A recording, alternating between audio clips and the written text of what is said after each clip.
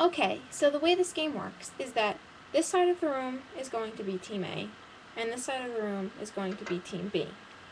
I'm going to give you a question, and you're going to click on the answer. That'll take you to a video of me either explaining why you're right or why you're wrong, and then introducing the next question. The questions are going to get progressively harder. Every other one goes to a different team. So the first one's going to go to Team A the person there's going to be 11 questions and the team with the most points wins.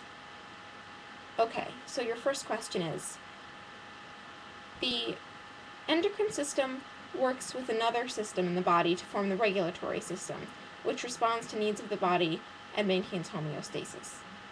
If you think that other system is the circulatory system, click on this hand. If you think that other system is the nervous system, click on this hand.